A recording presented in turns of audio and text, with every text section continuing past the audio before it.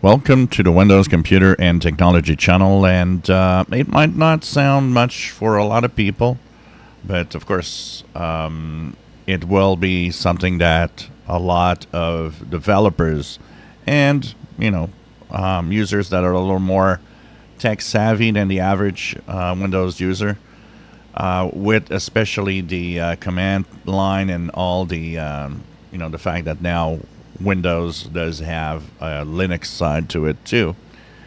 It's um, 24H2 will introduce the command that's been available in Unix and so many other um, systems that actually let you, as a user, you make commands and actually do things as a higher level user that you could not normally without having to, you know, start, for example, a new Windows with administrative um,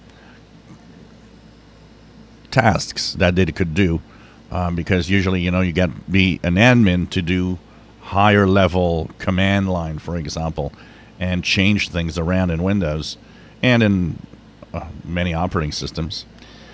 So on Windows 11 24H2, if you go to the System tab in the settings and go into the For Developer sections, well, you will now enable sudo command.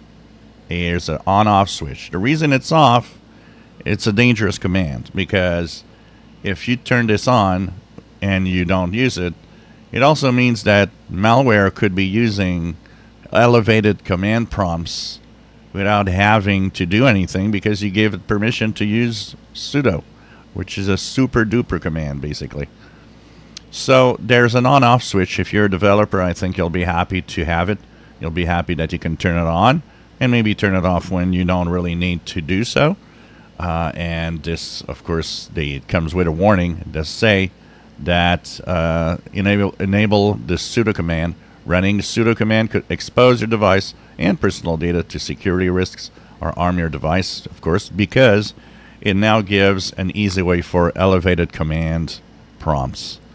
So this is new in 24H2. It is something that is added for developers and for tech-savvy users that might need it. If you enjoy my videos, please subscribe, give us thumbs up. Thank you for watching.